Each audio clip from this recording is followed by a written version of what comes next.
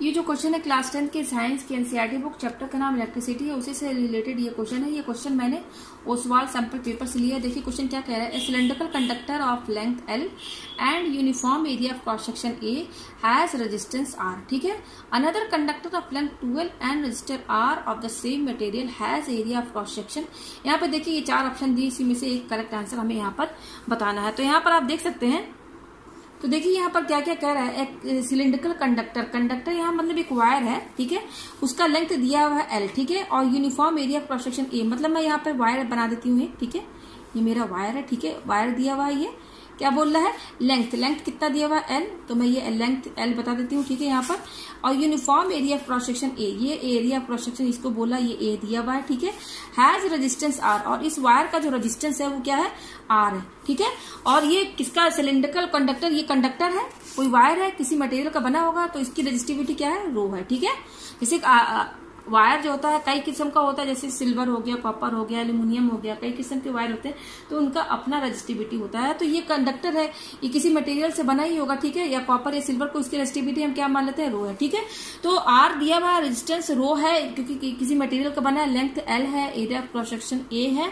तो यहाँ पर जो आर होगा रजिस्टेंस क्या होगा? फॉर्मूला क्या लगेगा? R is to rho L upon A ठीक है? ये फॉर्मूला लगेगा, इसको मैं इक्वेशन फ़र्स्ट मान लेती हूँ। ये किसका है? सिलिंड्रिकल कंडक्टर है। उसका ये फॉर्मूला बन रहा है, ठीक है? रेजिस्टेंस का जो फॉर्मूला जो है, ये बन रहा है। अब क्या बोल रहा है? अनदर कंडक्टर अब एक दूसरा वायर लिया गया है, जिसका की लेंथ क्या है? ट्वेल्व है। तो चलिए मैं दूसरा वायर बना लेती हूँ, ठीक है? ये रहा ये रहा दूसरा वायर जिसका की लेंथ बोल रहा है ट्वेल्व ठीक है? क्वेश्चन में कह रहा है कि एक दूसरा another another conductor of length twelve तो मैंने ले लिया ट्वेल्व लेंथ और क्या बोल रहा है? इसका जो रेजिस्टेंस है ना सेम है। इसका जो जो रेजिस्टेंस आर इसका वही रेजिस्टेंस इसका भी है, ठीक है? अब क्या बोल रहा है? ऑफ़ द मटेरियल ठीक है? सेम मटेरियल जो और मटेरियल जो क्या है सेम है। मतलब कि अगर ये कॉपर का बना हुआ है कंडक्टर तो ये भी कॉपर का ही बना हुआ है, क्योंकि यहाँ बोल रहा है कि जो मटेरियल है ना, वो सेम है। तो यानी कि यहाँ पर यहाँ पर भी जो रजिस्टिविटी होगी सेम होगी, रो ही रहेगा। इसलिए क्योंकि दोनों वायर जो है कंडक्टर सेम मटेरियल का बना है तो रो सेम रहेगा। लेंथ लेकिन क्या है? ट्वेल्व है। तो अब इस केस में बताना है कि एरिया ऑफ़ क्रॉस सेक्शन क्या होगा? मतलब कि ये जो दूसरा कंडक्टर है, इसका एरिया क्रॉस सेक्शन क्या होगा? तो यहाँ पर देखिए, इसका लेंथ क्या है? ट्वेल्व है। तो या, ये हमने दूसरा कंडक्टर लिया है तो इस केस में इसका रेजिस्टेंस तो सेम है, जो आर इसका रेजिस्टेंस है, इसका भी आर यहाँ पे कह दिया है। रेजिस्टेंस आर दोनों में बता रहा है। तो फॉर्मूला देखिए, यहाँ पर हम कैसे बनाएँगे? ये देखिए, हमारा सेकंड मटेरियल है सेकंड मतलब मटेरियल नहीं सेकंड कंडक्टर है हमारा, दूसरा। तो जो फॉर्मूला बनेगा आर आर सेम है, क्योंकि क्वेश्चन बोल रहा है इसकल टू और रो भी सेम है मटेरियल क्योंकि सेम लिया गया है, इसलिए यहाँ पर रो हम सेम लेंगे, ठीक है? अच्छा लेंथ क्या लेंगे? क्योंकि लेंथ देखिए, यहाँ पर टू एल है। तो इस केस में जो फॉर्मूला बनेगा, वो क्या बनेगा? एल बनेगा, ठीक है ना? और एल किसके बराबर है? ट्वेल्व के बराबर है। लेंथ चेंज हो गई है ना, यहाँ पर ट्वेल्व बोल रहा है ना, इसलिए हम यहाँ पर लेंथ चेंज हो जाएगी तो मैं यहाँ एल डैश लेकर चलूँगी, ठीक है?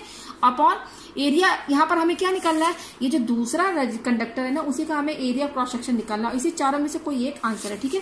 तो यहाँ पर भी एरिया क्रॉस सेक्शन हमें निकालना है तो वो मैं ए डैश मान लेती हूँ, ठीक है?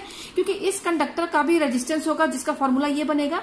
जैसे यहाँ पर मैंने बनाया है, क्योंकि यहाँ पर लेंथ देखिए, यहाँ पर हम एल को लेकर चलेंगे नहीं, क्योंकि यहाँ लेंथ टू एल है तो इस केस में मैं फॉर्मूला जो बनाऊँगी, वहाँ पर एल लेकर चलूँगी, और एरिया क्रॉस सेक्शन भी अलग होगा तो इसलिए मैंने यहाँ पर ए डैश लिया ठीक है, अब देखिए यहाँ पर क्या करेंगे? आर सेम रहेगा, क्योंकि क्वेश्चन में बोल रहा है जो आर इसका है वही आर इसका भी है, और मटेरियल सेम है, इसलिए रो इसका रहेगा तो इसका भी रो ही रहेगा, ठीक है? तो इसलिए ये दोनों टर्म जो है, ये चेंज नहीं हुआ है, ठीक है? बस लेंथ और एरिया जो है, ये चेंज हुआ है, ठीक है?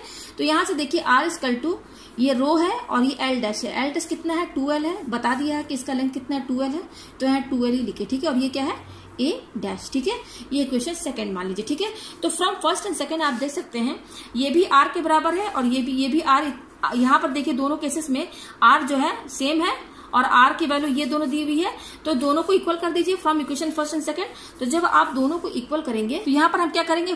फ़र्स्ट ये फ़र्स्ट और ये सेकंड इक्वेशन को इक्वल करेंगे। तो मैं लिख देती हूँ from equation first and second हम क्या करेंगे? दोनों इक्वल कर देंगे। ये रो एल अपॉन ए जो है rho L upon A equal to ये और ये दोनों इक्वल कर देंगे, क्योंकि आर और आर दोनों इक्वल है, बराबर है इसमें, इसलिए ये दोनों हम यहाँ पर इक्वल कर देंगे। यानी कि रो और ये क्या लिखा हुआ? टू एल अपॉन, और ये क्या लिखा हुआ है? A dash. ठीक है, ये आ गया हमारे पास। तो यहाँ से देखिए, ये रो और ये रो कैंसिल हो जाएगा, ठीक है? ये एल और ये एल कैंसिल हो जाएगा, क्योंकि देखिए सब इंटू में है, इसलिए हमने यहाँ पर कैंसिल कर दिया। तो ये कट गया तो यहाँ क्या बचा? वन अपॉन ए बचा। जो बचा है, मैं यहाँ पर लिख देती हूँ तो one upon A equal to, ये कट गया, ये कट गया तो यहाँ बच क्या रहा है? टू अपॉन ए डैश, यही बच रहा है। अब कीजिए क्रॉस मल्टीप्लीकेशन तो क्रॉस मल्टीप्लीकेशन करेंगे तो ए डैश को वन से इंटू करेंगे तो ए ही डैश आएगा इसकल टू और ए को टू से इंटू करेंगे तो टू ए आएगा। तो यहाँ पर हमें क्या निकालना था? जो सेकंड जो हमारा कंडक्टर है, उसका हमें एरिया क्रॉस सेक्शन निकालना था। तो सेकंड कंडक्टर का एरिया क्रॉस सेक्शन मैंने क्या माना था? ए डैश अब वो कितना आया है? टू ए यानी कि सेकंड जो हमारा कंडक्टर है, उसका जो एरिया क्रॉस सेक्शन है ना, वो पहले वाले का ट्वाइस हो जाएगा, ठीक है? तो आप देख सकते हैं यहाँ पर आंसर क्या होगा? आंसर जो होगा यहाँ पर सी होगा। तो मुझे उम्मीद है आपको ये क्वेश्चन अच्छे से समझ में आ गया होगा।